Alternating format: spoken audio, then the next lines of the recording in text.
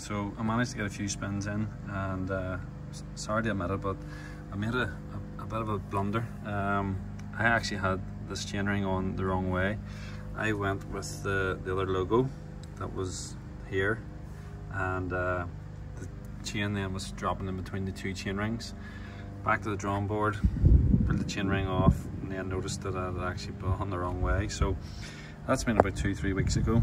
Uh, ever since it's been working fine, it's changing under pressure.